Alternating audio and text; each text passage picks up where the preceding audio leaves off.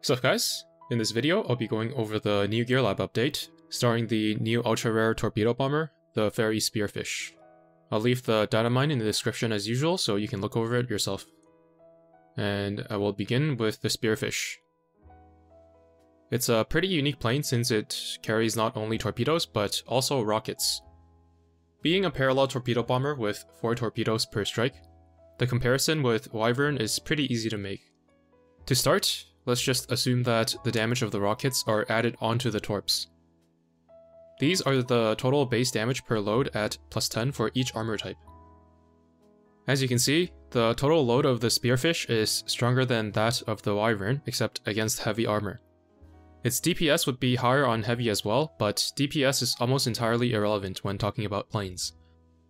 Next, let's consider what happens in a more realistic scenario when you would use parallel torpedo bombers. I don't think that even in chapter 15, parallel torpedoes will reach a 100% hit rate, so by adjusting the hit rate of only the torpedo bombers to 75%, which isn't really a concrete number, but seems reasonable enough, we can see that the Spearfish pulls further ahead of the Wyvern, not only in useless DPS metrics, but also in total damage dealt per strike. Essentially, the lower the hit rate of the Torps, the further the Spearfish pulls ahead of the Wyvern. Unfortunately, where Wyvern is the most commonly seen, being campaign chapters 12 and onward, there are a couple of factors that prevent the Spearfish from being a better option. First is the concealment mechanic in chapters 14 and 15, which completely wrecks the hit rate of rockets. Its effect is hard to measure, but it's extremely obvious and will most likely make the rocket's part of the payload irrelevant. The second factor is anti-air, since wyverns are able to intercept enemy planes, unlike most other torpedo bombers, including the Spearfish. Due to these two factors, I don't really see a scenario where these planes would replace wyverns, where you would want to use wyverns. But maybe there's something I'm missing, and I'll change my mind after messing around with them. Next, let's compare its performance with aimed torpedo bombers. And I'm going to assume that you're using the aimed torpedo bombers responsibly, meaning against a single target and making sure that they all land. Looking at its cooldown, its closest competitor would be the Saiun. Against a single target, I would handwave the hit rate of parallel torps to be somewhere between 25 to 50%. At 50%, it definitely beats out the Saiun, especially factoring in its 20 extra aviation stat, but on the lower end, it's pretty pathetic. In any case, I think it would have a hard time beating out the Ryusei and Ju-87 on a per strike basis, just slightly winning out against light armor. Where I can see the Spearfish having the most potential is in multiple enemy boss fights, for example, Algerie meta, where it could potentially deal much more damage than its competitors, but those are quite rare to come by. It'll also likely be a pretty good option for compositions involving two battleships and one carrier, where for some reason there's no way to make sure that all of your aimed torps hit. This is a pretty niche scenario as well, but now that I think about it, there is a comp like that, which is the Musashi Shinano Haku comp, which is good at dealing against heavy armor, and since you don't have Bismarck or Implacable in the fleet, whether or not your aimed torpedoes will hit is pretty much at the discretion of the boss.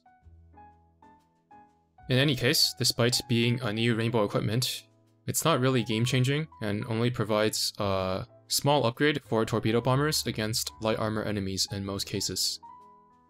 While I'm on the topic of planes, I'll quickly talk about the Shiden. It has the exact same guns and loadout as the old Shiden, just on a lower cooldown. It still has 60 speed, so its anti-air potential is severely gimped, and both in terms of anti-air as well as surface damage it loses to the Flapjack. So for now, I see no real use for it. Next, we have the upgrade of the Odin gun.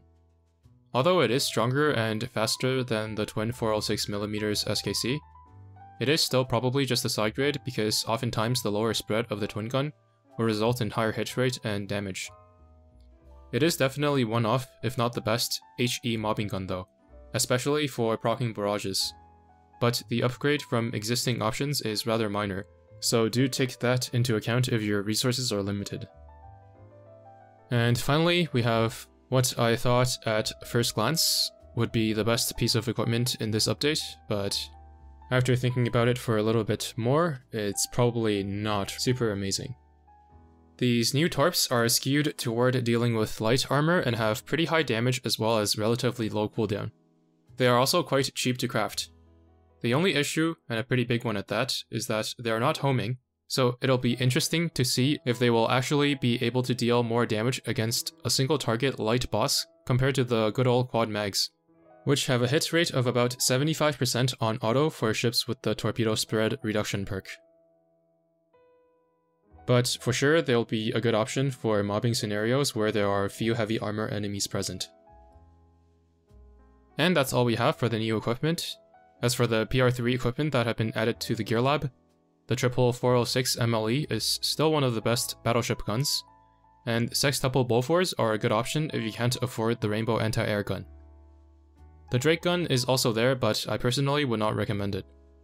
So that's pretty much going to be everything as far as the Gear Lab update is concerned. I should also mention that Oil Cap has finally been added to Chapter 15, which I haven't touched since whenever my last stream or video of it was so I'll probably be experimenting a lot with new ships and equipment there in the near future. Anyways, that's it for this video.